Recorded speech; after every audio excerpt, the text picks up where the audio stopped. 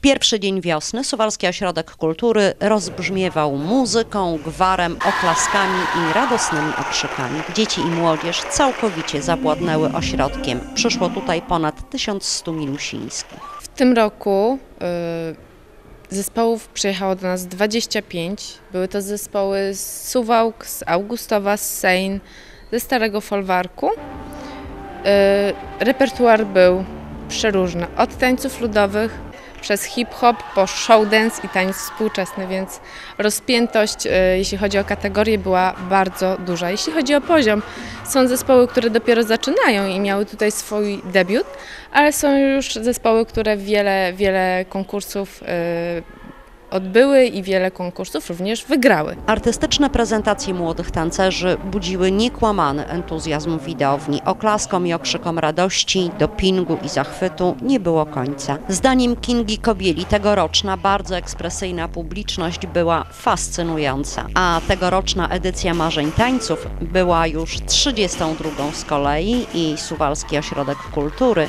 ani myśli kończyć. Jest to e, bardzo fajne rozpoczęcie wiosny. Trudno wyobrazić sobie pierwszy dzień wiosny bez marzanny. W Suwalskim Ośrodku Kultury pojawiły się tradycyjne kukły wykonane przez dzieci. Nie zapomniano również o najmłodszych. Patio wypełniły najmłodsze dzieciaczki, które z niekłamaną radością i ogromnym zaangażowaniem oddały się działaniom plastycznym pod okiem pana Mietka Iwaszko. Było naprawdę kolorowo.